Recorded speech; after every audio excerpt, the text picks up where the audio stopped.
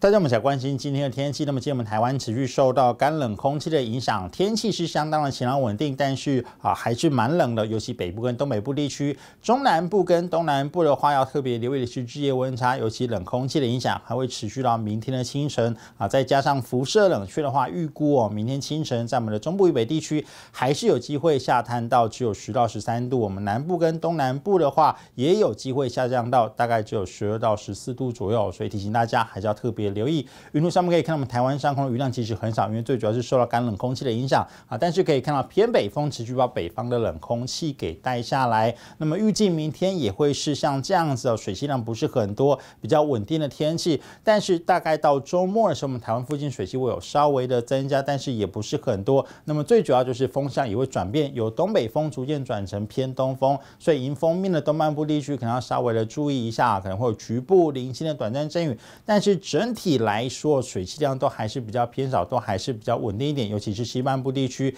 都是比较稳定的天气。因为从云图上面可以看到哦，在菲律宾东方海面上，外几天有可能会有扰动啊，引呃这个生成的这个机会。那么从目前的整个预测图是看起来啊，这个扰动也不至于啊太接近台湾，所以大家先不用太过于担心哦。我们来看一下，在这个啊温度的部分的话，这波冷空气对我们台湾的影响大概就持续到明天的清晨，明天白天开始冷空气气就会。逐渐的减弱远离，那么接下来周末两天，甚至到下个礼拜，目前看起来都是相对比较温暖的这个温度，但是要特别注意，就是日夜温差可能到周末的时候还是会比较大，预估清晨低温可能仍然都只有十五到十七度左右，那么中午高温是有机会可以来到二十五、二十六度以上，甚至在南部有机会来到二十八到二十九度。啊，所以还是要提醒大家，白天虽然是比较温暖舒适，但是早上和晚上还是比较偏冷一点，要注意添加保暖衣物。未来四天主要容易下雨的地方，其实是在周末开始，我们台湾附近水汽量稍微的增加，所以迎风面东半部地区啊，可能会有局部零星的短暂阵雨。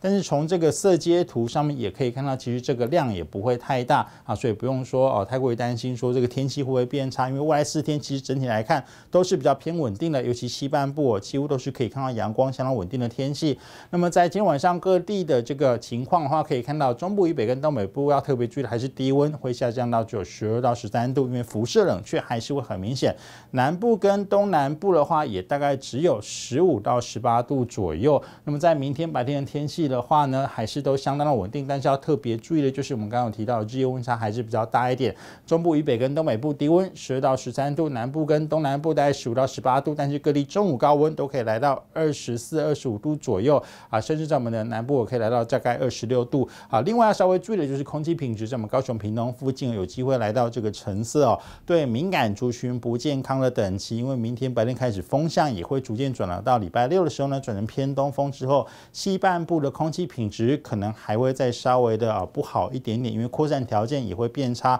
啊，这方面要提醒大家稍微的留意了。我们来看一下最后几个重点。礼拜四晚上到礼拜五的清晨，就今晚到明天清晨还是比较偏冷，因为持续受到冷空气跟辐射冷却的影响。到礼拜五的白天，明天白天开始温度就会逐渐回升，白天温暖，早晚比较冷一点点，是日夜温差会比较大，比较明显。提醒大家添加保暖衣物，以免着凉啊，以免着凉了。以上就是今天的天。